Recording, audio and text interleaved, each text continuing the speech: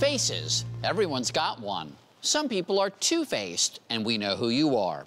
While the look on your face may not show what you're feeling anymore, thanks modern medicine, it can tell what's in your closet. Here's Alie Ward. I'm here to tell you, you are not just another face in the crowd. You have your own personality and look.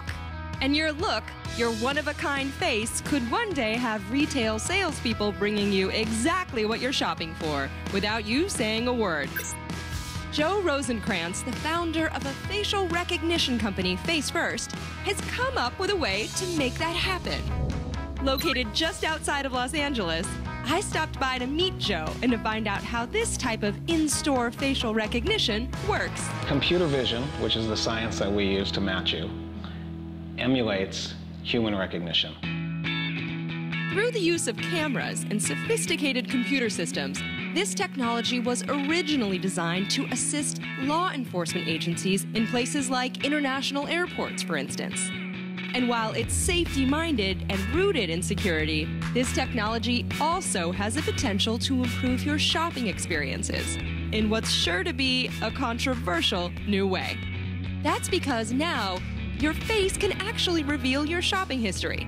Do you tend to buy neutrals, patterns, sneakers, or jeans? It can also tell salespeople just how much money you spend, just in case they want to give you some extra TLC while you shop. It all centers around the system's computer database, full of faces of shoppers who agree to be a part of this service. And that database is connected to the store's security cameras that watch you as you shop. If you feel it's too creepy for your own privacy, you just say no. You opt out of the service. Let's take a picture. And it begins with your photo. We're going to drop you in a watch list because the system's all about being in a watch list and being able to identify you at some future time. Mm-hmm. Because the watch list tells the system who's going to be notified. Oh. If it's a VIP that walked into a store, it might be telling somebody to bring you your latte to try to sell you a pair of shoes. What is it looking for? Is it looking at the shape of my face? Is it looking at my mouth, eyes? Well, there's a couple different stages in facial recognition. The, the first stage is facial detection. So mm-hmm. we see a complex video scene and we have to detect the, the shape of a face to look for that face in the scene. Once that detection phase is done, we then look for the best representation of you in a series of pictures. And if you match, mm-hmm. and if somebody has determined that they would like to know when you've been identified, the system sends out an email. Okay, so my picture is officially in the database. I want to see how this works. Why don't you just come over and sit down by the computer? Okay. And as I passed in front of the Face First Systems camera, the system already caught you. Look at that. Any other questions?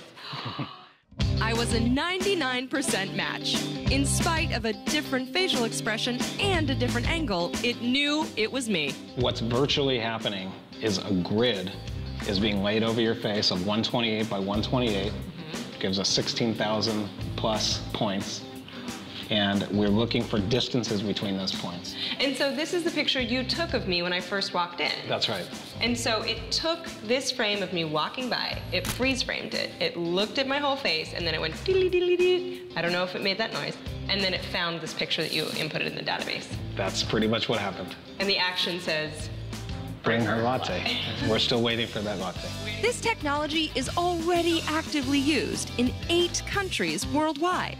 And before long, it will also be a part of our retail shopping experience, connecting your face and your preferences through your loyalty card.